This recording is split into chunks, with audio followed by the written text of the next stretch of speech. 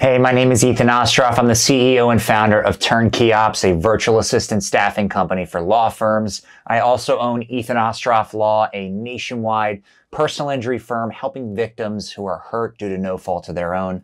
Today, I'm going to get into where you should start. What are the most low hanging fruit tasks that I use virtual assistants for when I started with virtual assistants and what I would recommend that you use for virtual assistants when you're ramping up your team.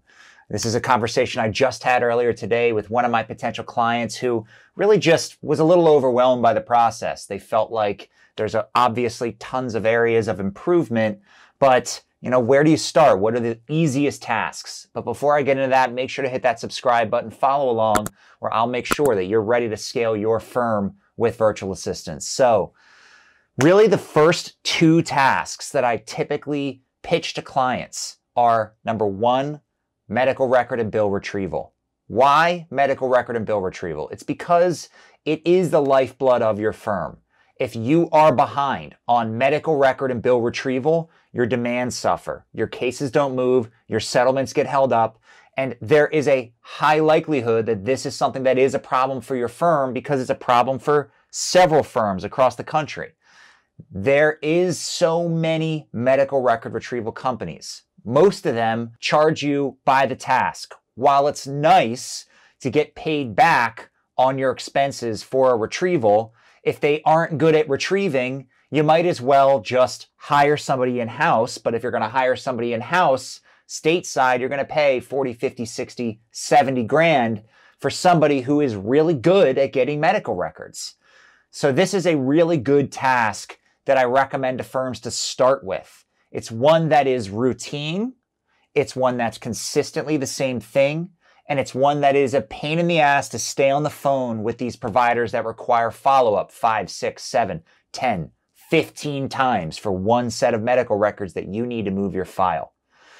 That's area number one, medical record and bill retrieval. Area number two, overnight intake slash reception. The reason why this is such a great task for virtual assistants, number one, there's a lower call volume coming in at 5.01 p.m. than at 4.59 p.m.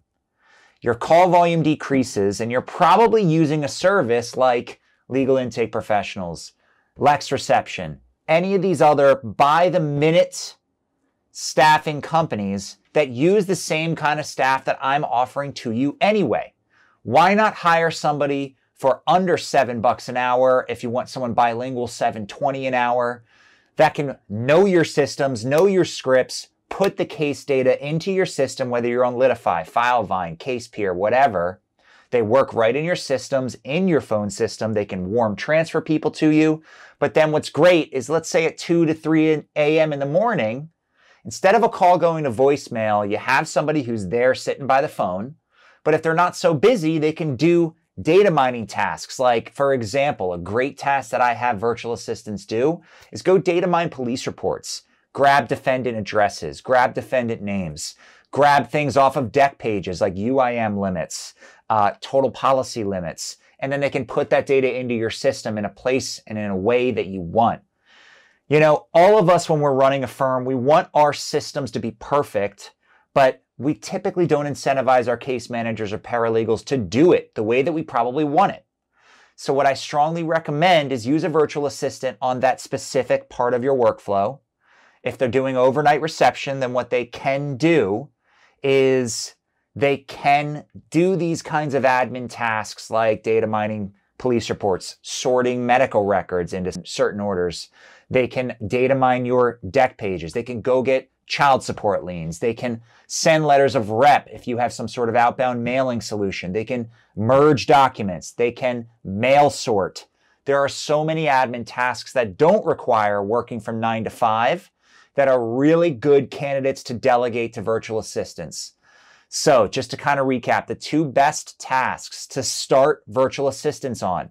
Number one, medical record and bill retrieval. Pain in the ass task, requires a lot of time, is nitty gritty, but is typically the same every time. And number two is overnight and backup reception slash intake slash admin. All they should be doing is sitting by the phone, waiting for calls to come. If the call doesn't come, then they're doing something admin with their time.